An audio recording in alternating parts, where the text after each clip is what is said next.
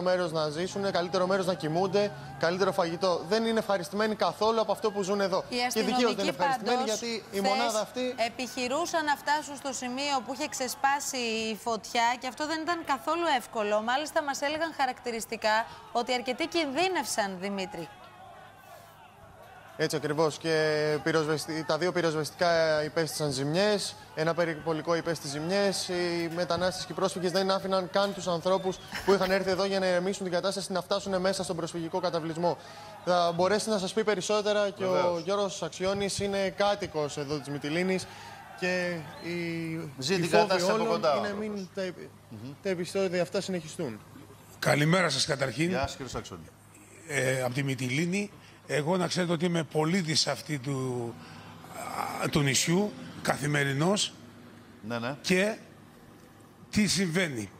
Εμείς Παρακαλώ. φοβόμαστε εδώ για τη ζωή μας, διότι με αυτό το επεισόδιο που έγινε χτες και με αυτά που γίνονται κάθε μέρα, φοβόνται, φοβόμαστε τα παιδιά μας, τα εγγόνια μας, που είναι μικρά και κυκλοφορούν έξω, διότι αυτοί οι άνθρωποι από τι το κάνουν; Καταρχήν, πριν αρχίσω να μιλήσω, κύριε Οικονόμου, θέλω να σας πω το εξής.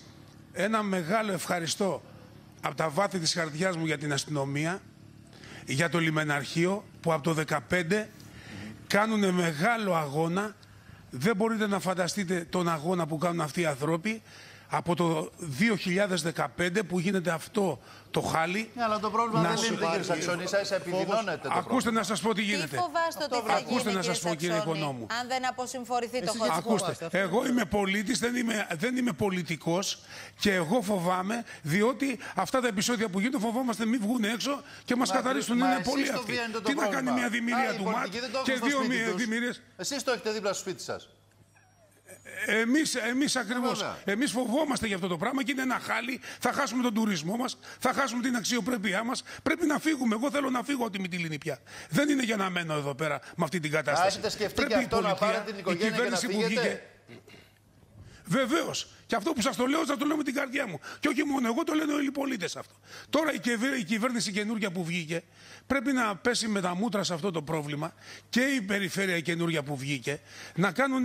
Τι θέλουν αυτοί οι άνθρωποι. Αυτοί θέλουν οι άνθρωποι τι θέλουν. Να κοιμηθούν, να φάνε, να κάνουν ένα μπάνιο. Ε, ακριβώς. Εδώ δεν θα έχουμε Τα νερό να στοιχειώδη. πιούμε με τη σπατάλη που Κύριε γίνεται σε Σαξόνη, λίγο καιρό. Και να μεταφερθούν κάποιοι άνθρωποι από αυτούς τους χιλιάδες που βρίσκονται εκεί στην υπηρετική χώρα. Αν υποθέσουμε ότι γίνεται αυτό, την επόμενη μέρα δεν θα έρθουν πάλι οι ίδιοι. Δηλαδή αυτό ναι, δεν ακούστε βλέπετε να σας πω τι έχει συμβαίνει κάνει η τόσα Ευρώπη. χρόνια. Η- ε, εγώ μπορώ να σας πω κάτι, Ναι, κυρία Μαρία, που είστε τόσο καλή δημοσιογράφος. Ακούστε τι θα σας πω. Εδώ έχουν δώσει ένα δισεκατομμύριο, 700 εκατομμύρια ευρώ για να φτιάξουν υποδομές για αυτούς τους ανθρώπους που μας φορτώσανε. Δεν ευθύνεται η κυβέρνηση, εντάξει, δεν ευθύνεται. Ναι. Μας τους φορτώσανε όμως οι Ευρωπαίοι. Δεν πρέπει αυτοί οι άνθρωποι να πάρουν αυτά τα χρήματα, να τα εκμεταλλευτούν Ναι. σε ίδρυυση, σε, σε, Κύριε σε, Σαξόνη, σε περιμένετε στέγαση. να πάρουμε ένα σχόλιο λίγο από τους καλεσμένους μας που είναι εδώ στο στούντιο. Είναι ο κύριος Συρίγος, ο οποίος είναι και βουλευτής της Νέας να τον Δημοκρατίας. ακούσετε ακριβώς, επειδή είναι Κύριε πρόσωπος Συρίγο, της κυβέρνησης στην πραγματικότητα. Μοιάζει περίπου αδιέξοδο τώρα όλο αυτό που, που ζούμε, έτσι δεν είναι; Πρόσωπο της κυβέρνησης δεν είμαι, αλλά έχω άποψη για το θέμα. Του Στην κοινοβούλιο, Δημοκρατία εντάξει. είσαστε. Αυτό είναι σωστό. Επομένως- Ναι, ε, ε, άλλος είναι ο κυβερνητικό Ναι, ναι, εκπρόσωπος, καλά, εννοώ. προφανώς, όχι, με Λοιπόν, αυτή την έννοια, ε, κοιτάξτε, φέτος, άμα δούμε τα στοιχεία που έχουμε, έχουμε 41.000 εισόδους στην Ελλάδα Μιλάτε για το 19. το 2019. Ε, περίπου 21.000 εισόδους στην Ισπανία και περίπου 6.000 εισόδους στην Ιταλία. Μάλιστα. Αυτό σημαίνει ότι έχουμε το μεγαλύτερο αριθμό εισόδων που υπάρχουν στην Ευρώπη. Ε, οι εθνικότητες, επειδή ακούω διαρκώς ότι λένε ότι είναι από τη Συρία, δεν είναι από τη Συρία. Βάση, είναι κάποια από τη Συρία, ένα σημαντικό ποσοστό, αλλά δεν είναι η πλειοψηφία από τη Συρία. Είναι από άλλες περιοχές. Είναι από το Αφγανιστάν πάρα πολύ. Ε, για την ακρίβεια από το Αφγανιστάν είναι οι περισσότεροι. Ναι. Μετά Άρα έρχονται οι οικονομικοί Σύριοι. μετανάστες δηλαδή. Κάποιοι από αυτούς είναι βέβαιο ότι είναι οικονομικοί μετανάστες.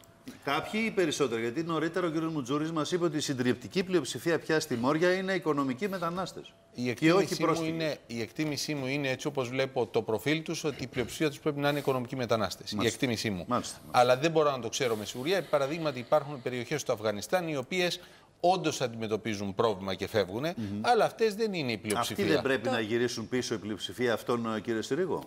Εδώ είναι το πρόβλημα. Οι δομές, οι, οι θεσμοί, ο τρόπος με τον οποίο λειτουργεί το σύστημα λειτουργούσε αποτρεπτικά ως προς την επιστροφή τους. Δηλαδή ήταν τόσο μακρόσυρτες οι διαδικασίες Που έμεναν οι περισσότεροι εδώ. και επιπλέον, Μάλιστα. ποιο ήταν το άλλο πρόβλημα και παραμένει το άλλο πρόβλημα. Τώρα διάβαζα χθες ότι η αστυνομία έχει εντοπίσει χίλιους. Σε όσους απερίπτετο η αίτηση ασύλου δεν μπορούσαν να τους εντοπίσουν ποτέ. Έφευγαν. Στην... ε, Εξαφανίζονταν. Εξαφανίζονταν. Ναι, Μάλιστα. Ε, το πού πηγαίνανε δεν το ξέρουμε αν μένανε στο νησί ή φεύγανε κάπου αλλού. Η αστυνομία, διάβασα χθες, έχει εντοπίσει χίλια άτομα που τους έχει απορριφθεί η αίτηση ασύλου για να τους το επιδώσει. Κύριε Συρίγο, τώρα έχουμε δύο νεκρούς, ωστόσο. Είναι, μία ναι. εξέγερση που έγινε χθες φόβει ότι μπορεί να ξαναζήσουμε κάτι παρόμοιο τα επόμενα 24 ώρα στη Μόρια. Και το ερώτημα είναι τι σχεδιασμούς έχει η κυβέρνηση για να αλλάξει αυτό; Βλέπουμε γίνονται συσκέψεις επί συσκέψεων για το θέμα. Στην πράξη όμως τι κάνουμε; Η προσωπική μου εκτίμηση, επειδή τα είχα δουλέψει αυτά τα πράγματα τρία χρόνια, ήμουν γενικός γραμματέας για τη μεταναστευτική πολιτική στην κυβέρνηση Σαμαρά. Ε, αυτά θα φανούν τα αποτελέσματα αυτής της πολιτικής σε δύο-τρεις μήνες. Δεν μπορούν να φανούν τώρα τα αποτελέσματα. Ε, δεν είναι, είναι η αστυνόμευση. Το ένα είναι ο Εύρος. Από, ό,τι έχω κατα... ε, από τους 41.000 που περάσανε, 10.000 περίπου μπήκαν από τον Εύρο.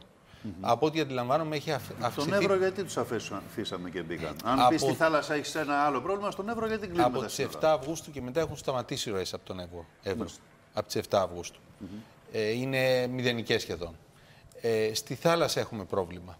Στη θάλασσα. Ακούσατε τον άνθρωπο τι είπε, ότι σκέφτομαι να φύγω με την οικογένειά μου από Ναι, το το νησί. ξέρω τώρα, Άνθρωποι μην που το έχουν συζητάμε. μεγαλώσει, έχουν Είναι- φτιάξει τη ζωή τους εκεί. Η κατάσταση είναι τραγική από κάθε άποψη. Λοιπόν, κύριε Συρίγο, μισό λεπτό να δώσουμε το λόγο, Δημήτρη, και πάλι στον κύριο Σαξόνη. Προφανώς και οι άνθρωποι έχουν ακούσει ποια είναι τα σχέδια της κυβέρνησης για το επόμενο διάστημα. Δεν ξέρω αν τους ικανοποιούν ή τι έχουν να πούν για αυτά.